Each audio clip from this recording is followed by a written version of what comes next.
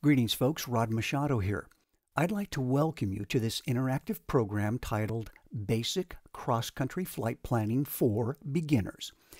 If you're a student pilot who would like to learn the essentials of basic cross country flight planning, then this is the course for you. In it, I'll cover everything that you need to learn to plot a course on an aviation sectional chart and correct for magnetic variation, compass deviation, and wind to find the compass heading that you need to travel from one airport to another. I'll also cover how to use your mechanical flight computer for speed, time, distance, and fuel calculation. Now, this course is intended to teach you the skills of pilotage and dead reckoning navigation, as well as the knowledge necessary to pass the private pilot knowledge exam. These are the skills that every new pilot needs to know.